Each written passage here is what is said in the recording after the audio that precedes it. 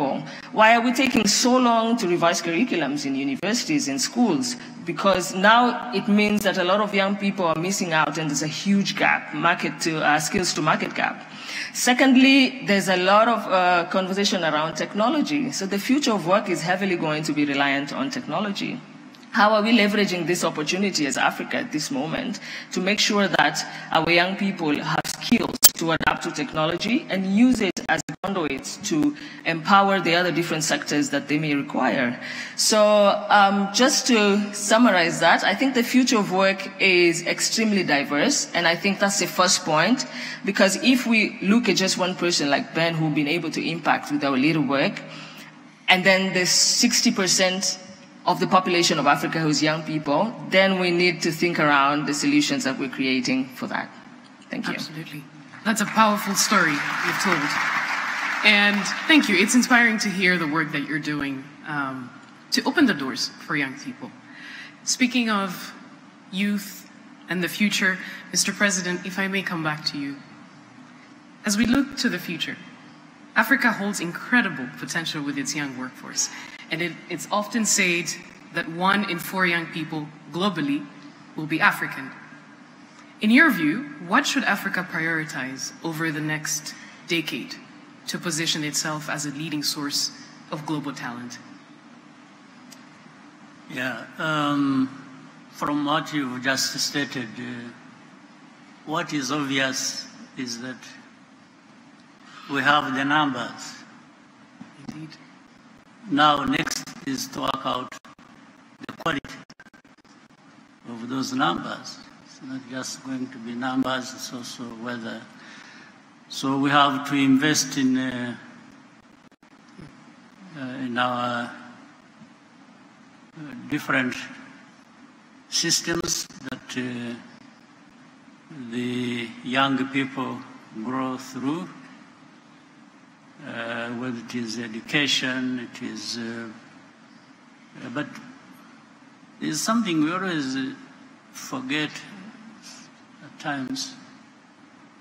Uh, you provide education, you mind their health, you uh, call upon them to participate and even in their own growth as well as their country's growth. But there has to be that environment that actually allows everything to happen. I'll come back to the politics of everything. The politics that uh, allows stability to prevail, and therefore within that, all kinds of things to be done that we are talking about. We have to build the infrastructure, therefore, on top of that, that serves uh, these young people. Uh, and then their task, which they always uh, are going to be good at, will be entrepreneurship, as we have been told. It will be about innovation. It will be about uh, doing whatever business that uh, earns them a good living that everyone aspires uh, toward. So um, Africa has everything to be where we want to be, to be who we want to be. So we can only blame ourselves for not achieving that. And therefore, to avoid the blame of blaming ourselves. That's why I started with saying the politics has got to be right and it has to provide the stability that therefore creates that environment uh, where people can do what they are best at. Uh, we have seen it's no longer just the potential. People have been talking about the potential of our continent. No, we've just seen uh, how that potential to an extent has materialized to actually prove that everything is possible.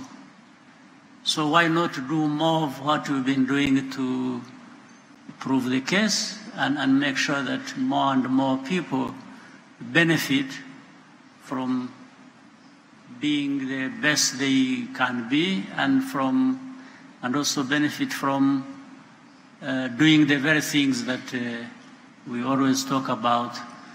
Uh, and, and, and here I have to say we, we should also get tired of just saying the right things for so long.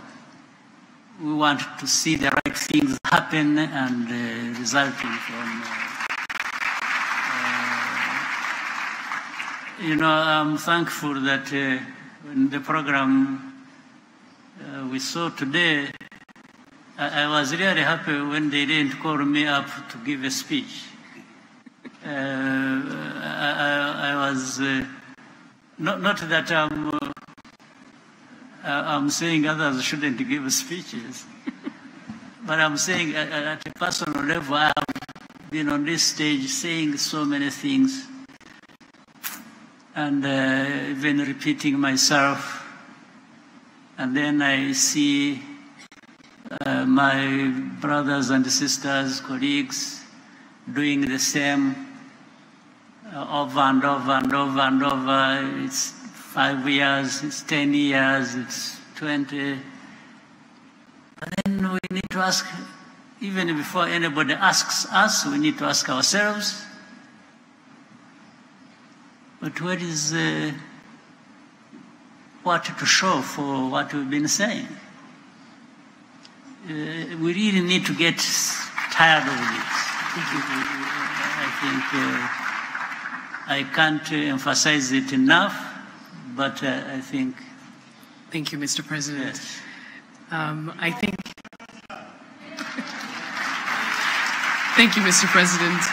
It's clear that quality is crucial, and I hope that for the sake of our continent, quantity and quality will go hand in hand, and that there will be no repetition mm. after this YouthConnekt Summit.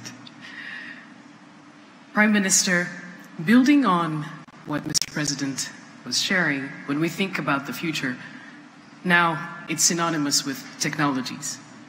How can African leaders leverage the rise of AI technologies and digital solutions to deliver inclusive and relevant skilling and employment opportunities for the young people?